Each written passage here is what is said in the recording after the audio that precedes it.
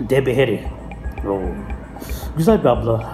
Blondie grubunun efsanevi solisti kendisi. Şimdi 70'li yıllara gidiyoruz ve unutulmaz bir şarkıyı dinleyeceğiz. Heart of Glass diyecek bizlere. O yes baby.